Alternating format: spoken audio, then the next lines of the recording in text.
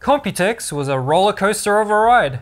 It was my first time to visit both the event and Taiwan thanks to MSI, and I never expected to see so many mini PCs on display, from familiar brands to a bunch I haven't heard of. Ultra compact form factor is definitely gaining momentum, and that warms my cold dead heart. Most of my time at Computex was spent running around like a headless chicken.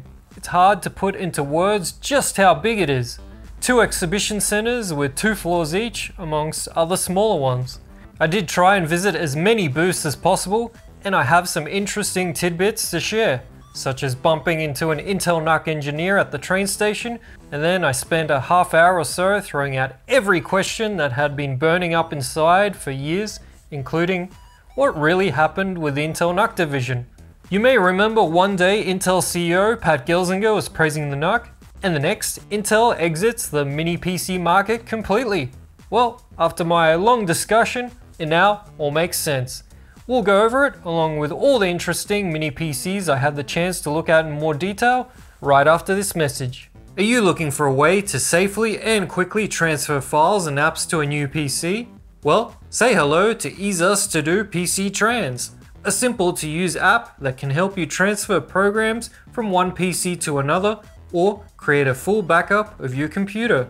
Try it for free with a link in the video description. Let's start with something unexpected. On display at the ASUS booth was the upcoming Lunar Canyon NUC Mini PC, which will feature Intel's Lunar Lake CPU. Oh, now I get it! As you can see, it's heavily AI focused. Boring. But it looks pretty cool and Lunar Lake looked interesting from Intel's keynote. Have you ever heard of Liva? Me neither. But they had a bunch of mini PCs on display, and I had a quick look before hitting up a familiar booth I had been scheduled to meet up with. I'm standing here at the CYX industrial booth, and you may better know them as Ace Magic. CYX is the manufacturing arm creating OEM mini PCs for brands such as AOC, AUSTAR, Firebat, and so on. You might have seen their mini PCs from various brands around the place. And today, we're going to check out some of the more interesting mini PCs in their lineup. So, let's get to it. The Tank 3 is a very interesting gaming cube.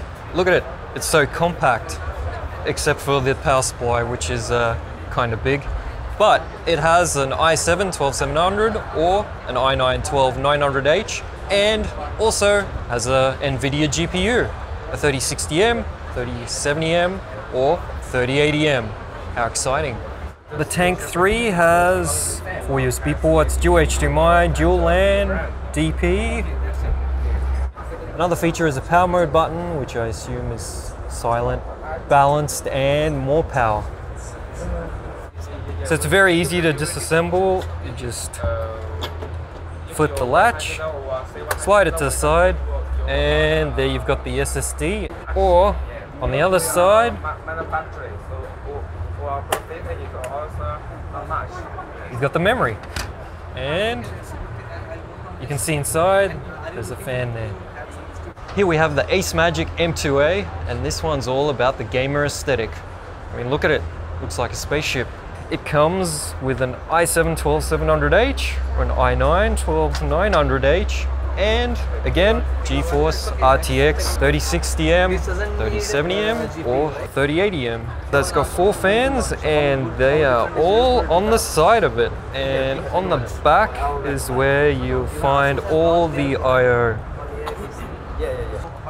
So, if you're a fan of the spaceship design, oh, wait, I forgot to say, there's also a screen on it, just like the Ace Magic S1. So that was a couple of interesting gaming mini PCs. Next, I had a quick squiz at the Newsmay booth. You may remember I reviewed their N100 fanless mini PC, which was pretty good. There wasn't anything new shown, but they have some new minis coming soon, and I may just be reviewing them. I'm standing here at the Minisforum booth, checking out their latest mini PCs. This one you might find familiar. It's a successor to a NUC Xi7. The only difference is it has an Intel Core 9 14900HX and an NVIDIA GeForce RTX 4070. Just gonna make people happy. It doesn't look like there's much more I.O. on this one, but the cooling has been improved and beefed up. This one has water cooling. It's a bigger shaped box than usual. And there's a bunch of ports on the back. There's even an Oculink port on this one if you want to expand its gaming capabilities. It's the G7 PT. Comes with an AMD Ryzen 9 7945HX. And for the GPU, you've got an AMD Radeon RX 7600M XT. You can change the designs on the front. There's a bunch included in the box. So RGB glory there. There's a bunch of ports on the back, including Thunderbolt. No dual LAN on this one, though. And there's a fan button for high power mode. So that's the latest Atom Man mini PC range from Minisforum. And you can check out more coverage on it in the future. Before Computex, I heard that Colorful was jumping into the mini PC space. They're a big brand in Asia, and I've even had a couple of colorful graphics cards over the years. I asked if their minis will be sold worldwide, and the answer was yes. But we'll see, as distribution of their products, even in Australia, is limited. They had two minis on display, the Intel Core Ultra 5 125H model and an AMD Ryzen 8845HS. I'm definitely interested in taking a look at these in more detail in the future. I finally got to check out ASRock Industrial mini PCs in person. They're not sold in Australia and I haven't been given the opportunity to review them. Not too much I can tell you, they look like mini PCs and a lot of them stick to the original Intel NUC 4x4 inch design. Something I was happy to see is the white version of the ASRock DeskMini X600, which was on display and looks really nice. I also visited the Minix booth. Their Intel N100 fanless mini PC is the best budget fanless I've looked at, bar none. One new product they had on display is a Core Ultra mini PC that's coming soon. Here's the near finished product.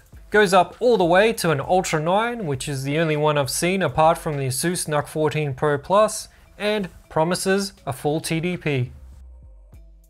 Finally, I went to the Maxtang booth and they had the MTN FP750 Mini on display, which I'm reviewing next, amongst others. So, a lot of mini PC action at Computex, and my time was limited as there were events and gatherings to attend on top of the scheduled booth appointments themselves. And of course, I had the sponsored content to film as well, and got awfully sick for a day, but them's the breaks. So let's talk gravy. I mean, Intel NUC. Unsurprisingly, NUC 8 Bean Canyon was the best selling unit in the whole NUC range, shifting around 3 million units.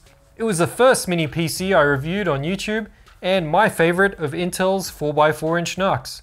Judging by these types of numbers, the small team, and no marketing spend, you may be wondering why the division was killed off.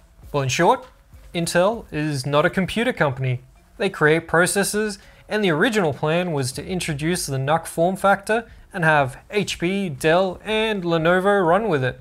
That didn't happen for whatever reason. They weren't interested, didn't see a market, whatever. MSI, Asus, Gigabyte, and ASRock did all jump in on a small degree. But that wasn't enough. And so, Intel decided to enter the computer market with their NUC idea as a way to sell more CPUs and push the form factor along until the big three jumped on board. And as I found out, this went down like a lead balloon, with the brands that make computers and buy CPUs from Intel definitely not wanting the extra competition. Despite the complaints, the NUC somehow managed to stay on the market. One concession was that the NUC was only to be sold as a barebones unit instead of a pre-build, and another for there to be virtually zero marketing spend. Fast forward a decade later, I guess you could say Intel went too far and introduced the Intel NUC laptop. Again, a barebones unit, which I might add is a foreign concept to the brands that sell pre-builds for various reasons. So it all came crashing down when big tech YouTubers reviewed and praised the NUC laptop over rival laptops. Shit hit the fan. Phones started ringing at Intel and meetings were arranged to meet up with Intel CEO Pat Gelsinger. I'm sure you can imagine the dynamics. Pat, what are you doing? You're a CPU supplier, not a computer company. Why are you competing with us? If Intel was a monopoly, I guess they could say, yes, so what? But with the threat of brands cutting loose and switching to AMD processors, Intel CEO was put in a tough position and the path forward to keep the peace was clear. The NUC division was killed off shortly thereafter, including the projects already in development. So, there you have it. That's the story I was told, and this is why the idea of AMD making its own mini PC is a pipe dream and is never going to happen. The business world is very different to what you might imagine, with lots of dynamics in play, and our discussions certainly helped me understand what I thought were bizarre business decisions, like the zero marketing spend. You could say the NUC was a victim of its own success, but Asus has now taken over the brand, and the two minis that were in development when Intel shut the doors have been released. Now we have plenty, and I mean plenty of mini PCs out there to choose from. Still, I'm glad I got some closure there. Oh, and if you want to check out my MSI Computex coverage, part 1 is here and part 2 is right here. Cheers!